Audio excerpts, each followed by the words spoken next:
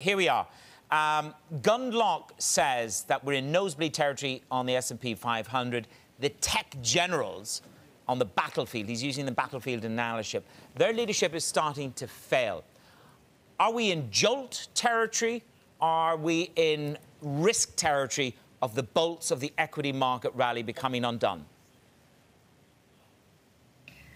Hey man, it's great to be here. Um, we're in the territory that in the territory that we had been talking about for some time. If you remember last time that we were on the program in July, the end of July, we talked about tech stocks probably being far too richly valued and being due to for pullback.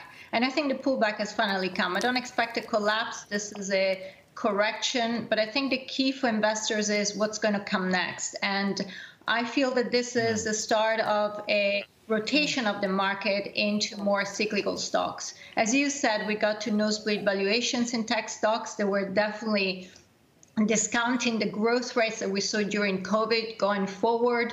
Uh, in reality, once you start looking at the possibilities of earnings growth in second quarter and third quarter of next year, the comps become much more difficult, and we will see uh, growth rates coming down. Whereas you have a swath of stocks out there more cyclical, which are benefiting from an improvement in the economic activity pickup, which have been underperforming significantly until now. And I think investors are going to start picking more from those stocks.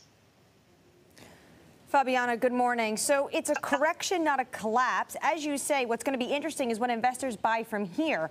What would you suggest? What names are you looking at? Um, so, Annmarie, we uh, generally don't talk about single stock names, but if you remember, we had been uh, discussing the fact that we had slowly starting to take profits, particularly from uh, IT stocks in the US. Uh, we like them. Clearly, the fundamentals are very strong. Uh, and we had started to put um, some of the money to work in more cyclical, particularly in industrials in the US, industrials and specialty materials in Europe. Uh, we particularly like the European markets because obviously they have lagged until now, and there are a lot of cyclicals that actually where valuations really discount all the ills of the world.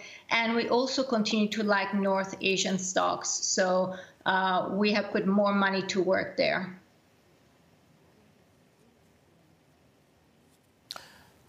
Fabiana, in terms of the, the rotation, when we talked to you in July, you came on and you said, listen, I am in that beginning of that rotation mode. Yesterday, BlackRock said to Annmarie and I, perhaps this whole narrative was a little bit overdone. In terms of the rotation into cyclical, where's your top pick in cyclical? Uh, we do like industrials at this point, uh, in uh, particularly in Europe, specialty materials.